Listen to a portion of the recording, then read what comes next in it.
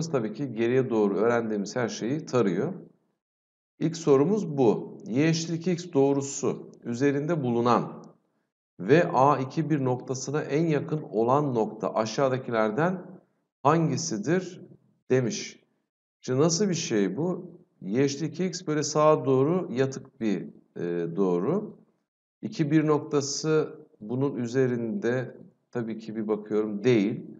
O noktaya olan uzaklığı. Yani şöyle bir şey yapalım. Değerlendirelim. Doğrumuz şöyle bir doğru tamam mı? Sonra bunun üzerinde bir nokta var.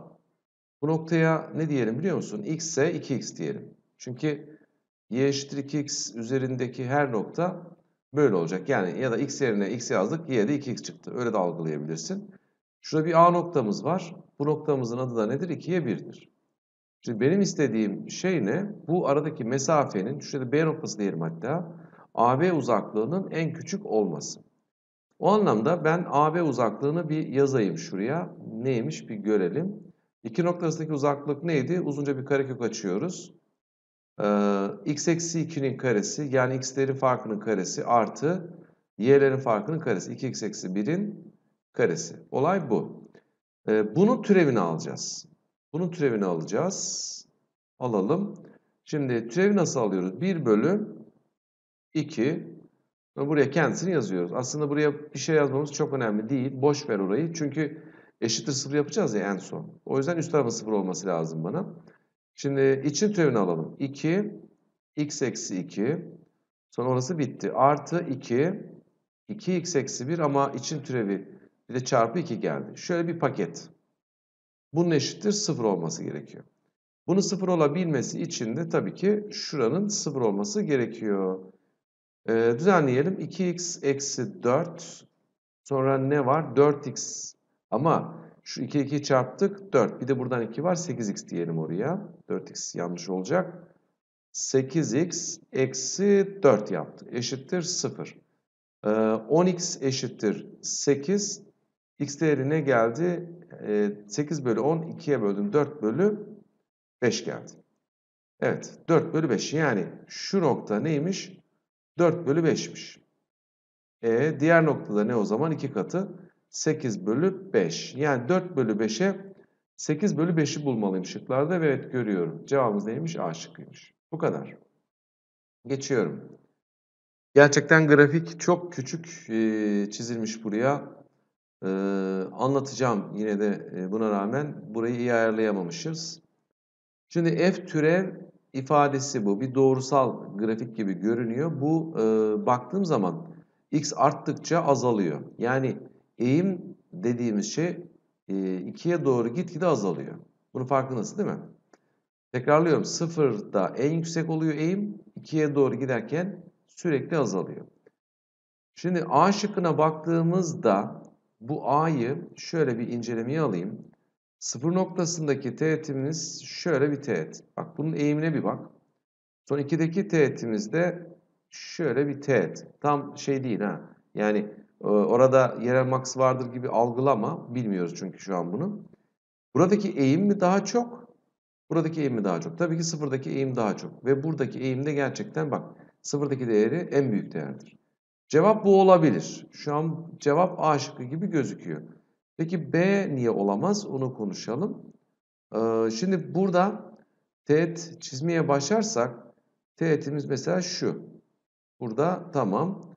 Burada ne oluyor? Böyle oluyor ve tekrar azalmaya başlıyor. Yani buradaki teğet ilk önce çok sonra azalıyor ve tekrar sonra e, eksiye doğru gidiyor. Bak dikkat edin. Şuradaki teğetimiz nedir? Eksiye doğru gidiyor ama burada türevimizin değerleri eksi değerler almıyor. O yüzden cevap bu olamaz. Şimdi buna bakalım. Şimdi şuradaki teğetimiz bu. Çizemedim. Sonra biraz ilerideki teğetimiz bu. Bunun teğet değerleri artış halinde ama halbuki azalış halinde olmalıydı. Bu da olamaz. Şimdi tekrar şuna gelelim. Teğetimiz burada bu. Sonra evet görüyorsun negatif olmaya başladı. Ee, o halde buradaki değerler negatif olduğu için burada negatif inen bir yer olmadığı için cevap bu da olamaz. Peki bu nasıl bir durum? İlk önce şöyle bir teğet çizdiğimiz zaman bu teğetimiz negatif zaten. En baştan bu bitti. Yani Burası için negatif. Hatta şurası için de negatif oluyor. Bu da nedir? Cevap yine değil. Evet. En başta dediğimiz e, A şıkkı doğru çıktı. Peki. Şimdi bunu çözeceğiz. Bir kere şu ifadenin bizim için anlamı ne? Onu bir hatırlayalım. Daha türevin ilk başlarının gıcında limitle ilgili bağlantısını anlatmıştık. Bunun anlamı f türev 1 nedir? O halde bunun türevini alacağız. Fonksiyonu vermiş bize türevini alalım. Ne yapıyoruz? Ee, 1 bölü 2 ifade olduğu gibi yazıyoruz. x kare artı 2x artı 3 bir de içinin türevini yani kökün içerisindeki olan buranın türevini alacağız. 2x artı 2. Bundan sonrası bir şey değil. x yerine 1 yazıp bu arada türev aldık. Onu şuraya koymayı unutmuşum. x yerine 1 yazıp sonucu bulacağız. Ee, 1 yazdık. 1. Şuradan 3 daha 4. 2 daha ne yaptı? 6 yaptı. Burada kök 6 var.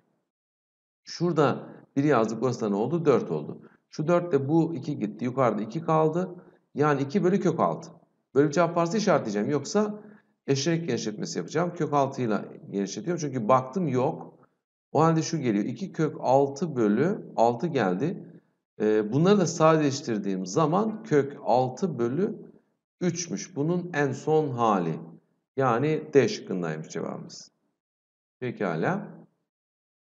Burada türev fonksiyonunun grafiği verilmiş. Bir bakıyoruz şöyle. Evet f ile ilgili de bazı durumlar var. O yüzden tablo incelemesine geçeceğiz hemen. Şöyle iki katlı tablo yapalım. Kaç tane kökümüz var? Bir sıfır bir de biri görüyorum. Sıfır şurası olsun. Bir de burası olsun. Peki. Şimdi f türevi yazdık. Burası ne dedik? Sıfır. Burası da bir. Türevin kökleri. Onları şöyle belirtelim. Bu da f türev. Pekala. Birin sağında türevin değerleri pozitif. 0 ile 1 arasında negatif ve 0'ın solunda da yine pozitif. O halde şunu söyleyeceğiz. Burada artıyor, azalıyor ve tekrar artış halinde. Yani f'in durumu bu. Hangisi yanlıştır diyor. Yani biz doğruyu bulmayacağız, yanlışı bulacağız. Bir bakalım. fx'in x eşittir 0'da maksimum noktası vardır. Evet görüyorsun burada bir tepe durumu var. Bu doğru. Ee, fx'in x eşittir 1'de minimum noktası var. Aynen görüyorsun çukur bölgesi. Doğru. Ee, fx fonksiyonu eksi 3 bölü 2, eksi 1 bölü 2 aralığında artandır. Bunlar şuralarda bir yerde değerler. Hani onu da yazayım şuraya. Eksi 3 bölü 2, eksi 1,5 diye düşün. Bura. Sonra eksi e, 1 bölü 2 de eksi 0,5. O da şurada bir yerde. E şimdi baktığın zaman grafik ne oluyor burada? Artan görünüyor. Görüyorsun artıyor. Bu ise artandır demiş. Tamam bu da doğru. Sıkıntı yok. fx fonksiyonu 0-1 aralığında artandır. Ee, yani çok abes ama yani değil mi? Hiç bu üç maddeye gerek kalmıyor bunu görür görmez ama görüyorsun yanlış olan bu 0-1 aralığında nedir? Azalıyor halbuki. Bu artan demiş. Demek ki cevabımız D olacak. Ama ben e, böyle sorularda bütün şıkları çözüyorum fark ettiysem. Çünkü bize bir şey katabilir mi? Bakacağız. Fx fonksiyonu 3. derecedendir demiş. fx fonksiyonu 3. derecedendir demiş. Evet doğru çünkü bu, bu bir paraboldür diyor. Yani bu ifade hani e, ax kare tarzında giden bir şey. Evet. Böyle olabilmesi için fx'in de nasıl başlaması lazım? E, x küplü bir ifade olması lazım ki türevini alınca ikinci derecene inebilsin. Bu cümlede nedir? Doğrudur. Pekala geçtim. Ee, f türev 7 diyor. Tabii ki biz buranın türevini alacağız ama içeride bir bölme türevi var. Dikkat etmek lazım oraya. Türevini alalım. f türev x. Şimdi g türev içerisine ellemeyeceğiz. 3x eksi 1 bölü x artı 3. Sonra çarp içerisinin türevini alacağız. İçerisi bölme işlemi olduğu için e, bölme türevini alıyoruz. Yukarının türevi 3 çarpı aşağısı. Eksi aşağı türevi bir yazmamıza gerek yok. Çarpı yukarısı. Ve paydanın karesi. Paydada ne var? x artı 3 var. Onun karesini alacağız. Evet durum bu. Ee, f türev 7 dediği için bizim tabii ki x yerine ne yazmamız gerekir? 7 yazacağız. 7'yi yazdık. F türev 7 oldu burası. Şimdi e, 7'yi yazınca burası ne geldi? 3 kere 7 21. 1 çıkarttım 20. Sonra 7 artı 3 10 etti 2 çıktı. Yani burası G türev 2 çıktı. Doğru yoldayız. Bak G türev 2 vermiş zaten. Tamam.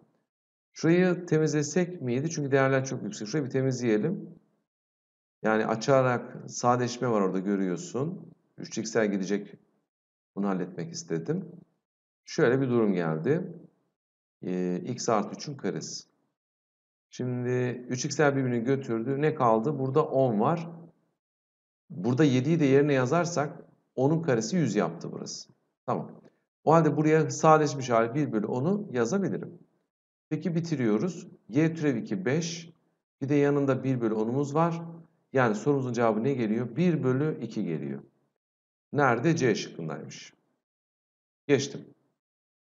X eşittir 1'de çizilen teğetin denklemi nedir diyor. Şimdi hani bu eğrinin şöyle böyle bir şey olduğunu düşünelim. Şu an e, ne olduğu önemli değil. Biz grafikleri e, o kadar detaylı incelemeyeceğiz burada. E, x eşittir 1'de çizilen teğet diyor. Mesela şurada bir tane teğet çizimizi varsay. Şöyle bir teğet. Oradaki x değerimizde ne olsun? 1 olsun. Yani absiste gidiyoruz. Neyi görüyoruz? 1'i görüyoruz diye düşünelim. Tamam Şimdi bu doğrunun denklemi istendiği için ilk önce şu noktanın tam adresine ihtiyacım var. Ee, bu benim f fonksiyonum. Gideyim ben bir f1'i bulayım. f1 neyin nesi bir bakalım. Şurada yerine yazdım. 1'i, burası 1 yaptı. 1 daha 2 yaptı. Karesi 4. 4'ten de 1 çıktı 3. Ha tamam. Burasının tam adı neymiş? 1'e 3 noktasıymış. Yani y'de gördüğü sayı 3'müş. Bu noktaya a diyelim 1'e 3. Bir şey daha kaldı. Eğim bulmamız lazım. O yüzden f türev 1'i bulmamız gerekiyor. Bak f türev 1 bize neyi verecek? Onu yazayım buraya. Doğrunun eğimini verecek. O yüzden f türev x'i bir bulalım. 2 yöne düştü. Şuradan bahsediyorum. Sonra içerisine aynen yazıyoruz. Tamam. Çarpı için türevi 1 bölü 2 kök x ve eksi 1. Şimdi x yerine 1'i yazalım. Yazdığım zaman şurası 2 yaptı. 2 daha 4. 1 bölü burası da 2 yaptı. Eksi 1. Evet. Buradan 2 kaldı. 1 çıktı. 1 çıktı. Tamam. Yani ben eğimi ne buldum bu arada? 1 buldum. Eğimi bu olan ve şu A noktasından geçen doğrunun denklemini yazıp soruyu bitiriyoruz. Hepsi bu. Nedir o? Y eksi 3 Eğimimiz 1'di. 1 çarpı x eksi 1. Şunu halledelim. x eksi 1 oraya artı 3 diye geçti. Artı 2 oldu. Yani y eşittir. x artı 2 çıkıyormuş cevabımız. Nerede? D şıkkında. Evet. Temiz bir soruydu. Geçiyoruz. F ters verilmiş burada. G bileşki F var ve şu ifade de zaten G türev 3 bölü 2 soruyor. İlk önce ne sorulur bir anlayalım. G türev 3 bölü 2 nedir diye sorulmuş. Ee, bu F'te şu bir değişiklik yapalım. İçeriği dışarı dışarı içeri alalım.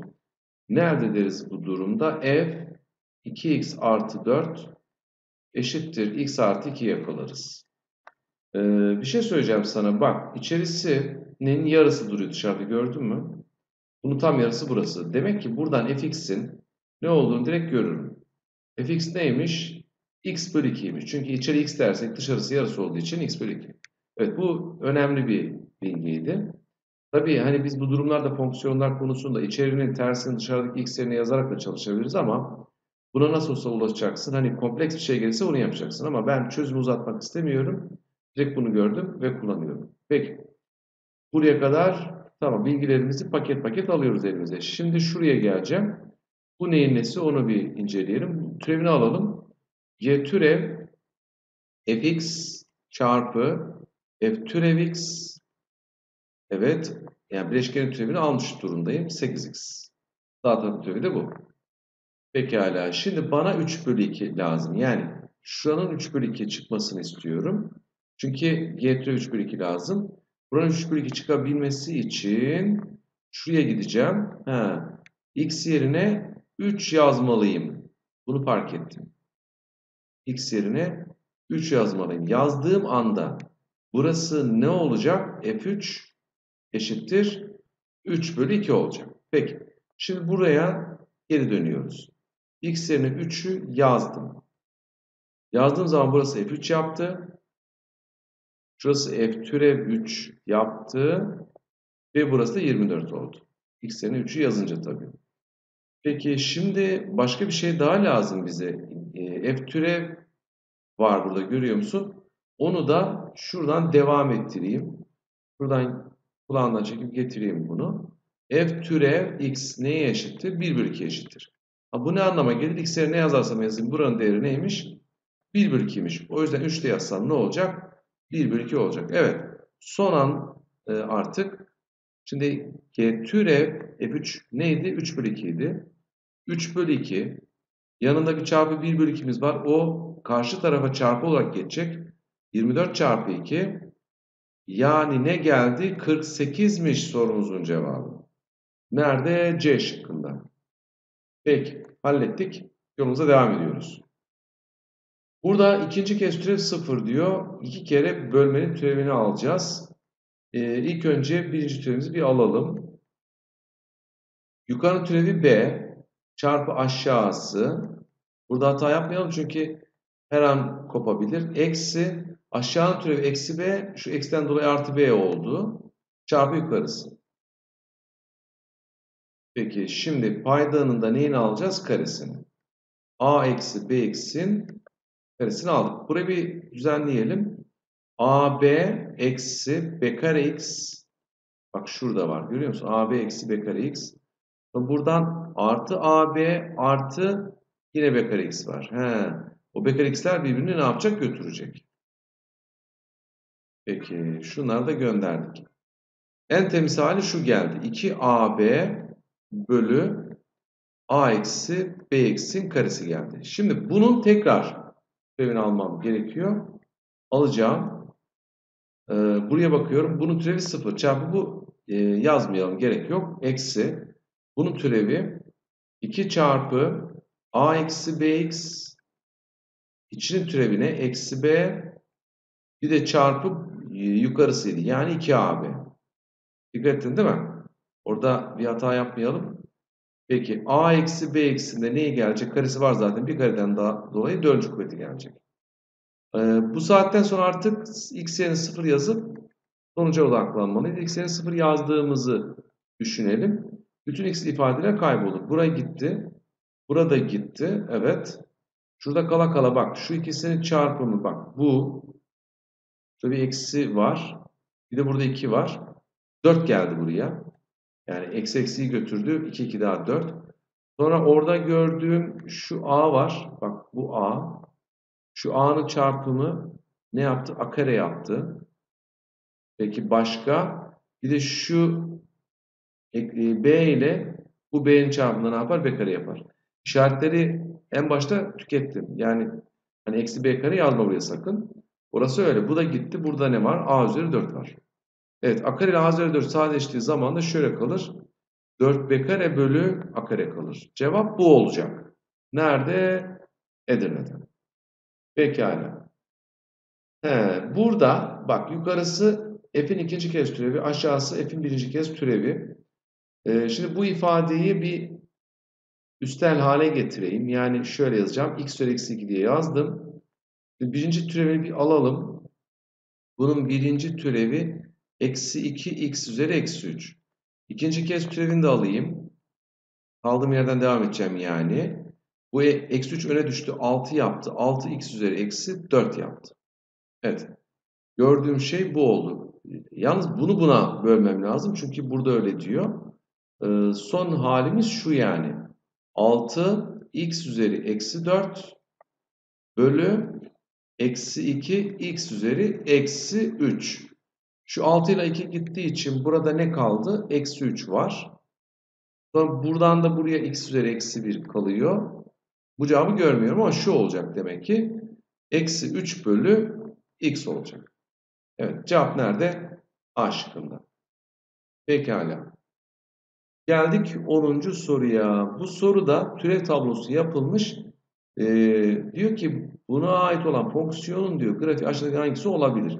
Bir şey dikkat ettin mi? Burada bu bu arada azalıyor ve tekrar burada azalmaya da devam ediyor. Yani 4'te böyle bir kırılma var ama aşağı doğru sanki şöyle bir hareket gibi duruyor. Şurada bir 4 diye bir noktamız var. Evet.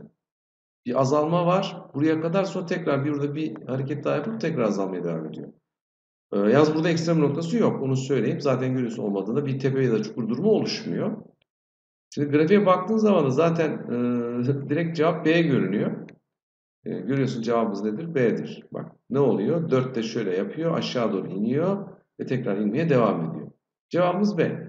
Diğer şıklar zaten uygun değil. E, inceleyeyim istersem.